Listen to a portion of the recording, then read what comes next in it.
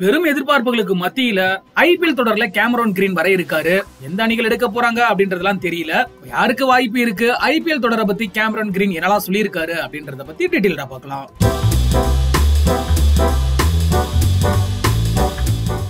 ஒவ்வொரு ஆண்டுமே ஐபிஎல் தொடரானது ரசிகர்கள் மத்தியில மிகப்பெரிய எதிர்பார்ப்பை ஏற்படுத்தும். எந்த அளவுக்கு ஐபிஎல் தொடர் மேல எதிர்பார்ப்பு இருக்குமோ அதே மாதிரி தான் ஐபிஎல் ஏலத்து மேலயுமே மிகப்பெரிய எதிர்பார்ப்பு இருக்கும். என்ன காரணம் அப்படின்னா ஒவ்வொரு அணியுமே எந்த வீரரை ஏலத்துல எடுக்க போறாங்க அப்படின்றதும் அந்த டீமினோட காம்பினேஷனுக்கு எந்த மாதிரி பிளேயர் வந்தா நல்லா இருக்கும் அப்படின்ற மாதிரியான ரசிகர்களே ஒரு பட்டியலை ஏற்படுத்தி ஏலத்து மேல ரொம்பவே எதிர்பார்ப்போட இருப்பாங்க.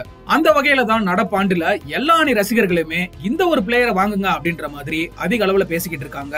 அவர் தான் ஆஸ்திரேலிய இளம் ஆல்ரவுண்டரான கேமரோன் கிரீன். பேட்டிங் பவுலிங் ஃபீல்டிங்னு மூணுலயுமே ஆஸ்திரேலிய அணிக்காக அசத்திக்கிட்டு இருக்காரு. இதனால அடுத்த மாதம் நடக்க இருக்க ஐபிஎல் மினி ஏலத்துல அவர் பங்கேற்றாரு அப்படின்னா அதிக விலைக்கு விலை போவாரு அப்படின்னு பேசப்பட்டு வருது. ஆனா ஆசஸ் தொடர் காரணமா ஆஸ்திரேலிய வீரர்கள் பலருமே ஐபிஎல் தொடர்ல பங்கேற்க மாட்டாங்க அப்படின்ற தகவலும் வெளியானது. இந்த நிலையில தான் ஐபிஎல் தொடரை பத்தி கேமரன் கிரீனே பேசியிருக்காரு. என்ன சொல்லியிருக்காரு அப்படின்னா ஐபிஎல் தொடர்ல பங்கேற்கிறதுக்காக நான் பதிவு செஞ்சிருக்கேன். இது என்ன நிரூபிக்கிறதுக்கு மிக சிறந்த வாய்ப்பு.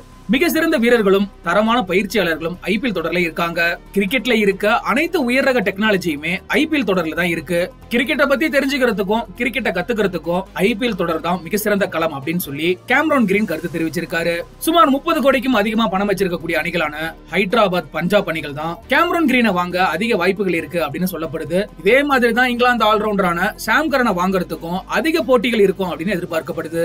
டிசம்பர் மாதம் இறுதியில கொச்சின்ல மினி நடக்க இருக்கிறதா தகவல்கள் வெளியாகி இருக்கு இதற்காக தான் சில வாரங்களுக்கு முன்னாடியே ஐபிஎல் அணிகள் எல்லாருமே அவங்களோட ரீட்டைன் செய்யப்பட்ட வீரர்கள் பட்டியலை வெளியிட்டாங்க. இதனால இப்பையில இருந்தே எந்த அணி நிர்வாகம் எந்த வீரரை வாங்குவாங்க அப்படின்ற எதிர்பார்ப்பு அதிகமாகி இருக்கு சரி ஓகே நீங்களும் மறக்காம ஒரு கமெண்ட் செக்ஷன்ல பதிவு பண்ணுங்க. கேமரோன் கிரீனை எந்த அணி கைப்பற்றுவாங்க அப்படின்ற உங்களோட கணிப்புகளை